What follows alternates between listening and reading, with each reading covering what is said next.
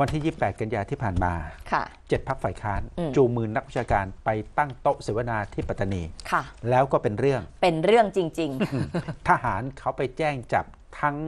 12 คนที่ขึ้นเวทีเสวนา ประกอบด้วยตัวแทนจาก7พักแล้วก็มีนักวิชาการการอีกๆค่ะ2และก็ที่น่าสนใจก็คือ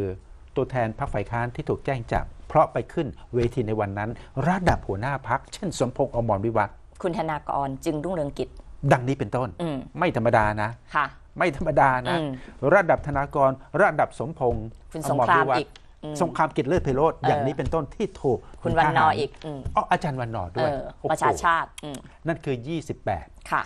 มันมาจากคำพูดอื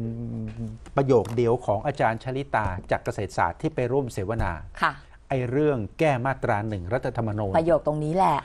ไอ้เรื่องไอ้นะไม่จำเป็นประเทศไทยไม่จำเป็นที่จะต้องอยู่แบบรัฐเดียวอืมจะแก้รัฐธรรมนูญมาตราที่หนึ่งก็ไม่แปลก ไอ้มาตราที่หนึ่งมันบอกว่ารัฐไทยเป็นรัฐเดียวแบ่งแยกไม่ได้ ค่ะ นี่แหละค่ะก็เป็นเรื่องประเด็นสิร้อนคือตรงนี้เองที่จุดประกายทำให้เป็นปรากฏเรื่อว่างฝ่ายค้านเขาเคลื่อนไม่หยุดนะค่ะ วันที่ 10 ตุลาคมอืมก็วันมะรืนใช่ไหมฮะค่ะ วันนี้ 8 ค่ะ วันที่ 10 ตุลาพักฝ่ายค้าน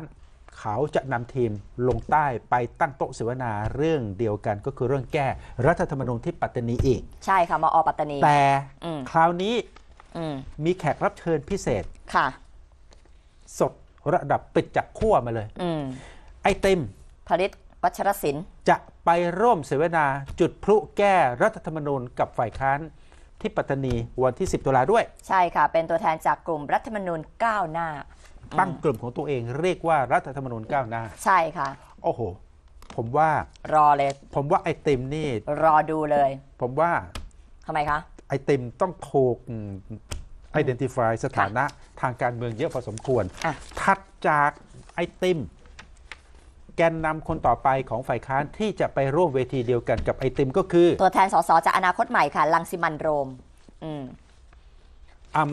อะขอโทษข้ามไปเอาเลขาพักประชาชาติก่อนละกันพันตุรวจเอกทวีสอดส่อง ครับ อืม คุณทวีสอดส่องใช่ค่ะ เลขาเลขาเลประขาชาพรรชาคติประชาชาติ ถูกค่ะถัดไปก็คือ ลังสิมันโรมค่ะ เป็นสสจากพักอนาคตใหม่ โอ้โห ไปขึ้นเวทีด้วย ผมว่าจิตจาดแน่ อืม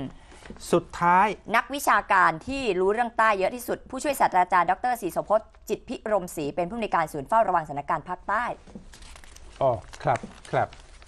ครับอะ ข้ามลังสมันลมไปก็ได้ไม่เป็นไรเอาขึ้นอืมไม่ทัน ก็ค่ะเวลาก็ประมาณนี้เอาละครับ วันนี้วันนี้ไม่ทันจริงขออนุญาตลาไปก่อนนะคะสวัสดีค่ะสวัสดีครับ